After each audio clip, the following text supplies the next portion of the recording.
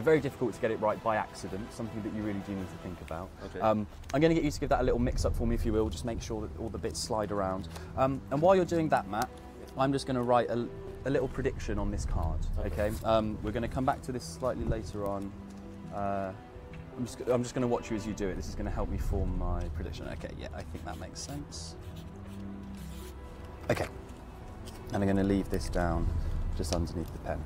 Then when you're happy that it's all mixed up, uh, and you're happy that you know there's nothing sort of like funny or untoward, you can run your finger along the numbers. You can see that there's no way that you can. There's no kind of like braille or anything sticky No. on them. No way you can know. Okay.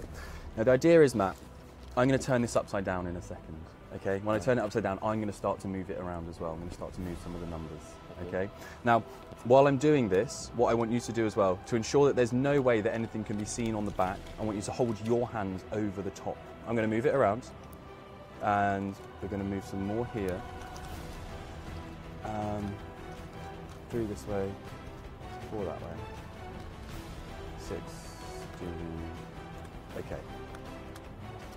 One more. And I think that's done. Yeah, okay. I'm going to take the number 16. I'm going to put this back in the corner so that things don't move around, nothing gets stuck. You can take your hand away, and we should see. Oh, I got that in slightly the wrong way. Um, okay.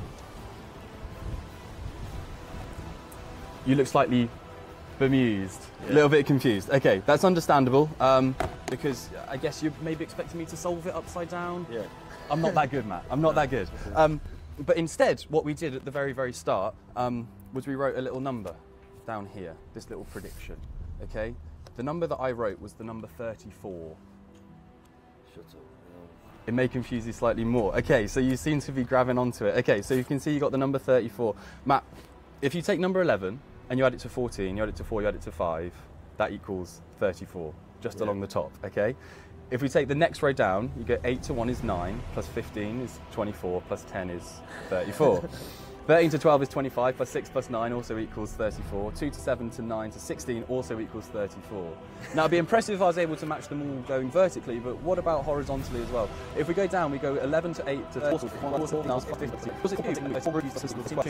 5 also equals 34. The diagonals 5, 15, 12, 34, 11, 1, 16, 19, 34. All of the numbers that we added up get to 34. That's the magic of the one. Thank you very much. Thank you. Cheers.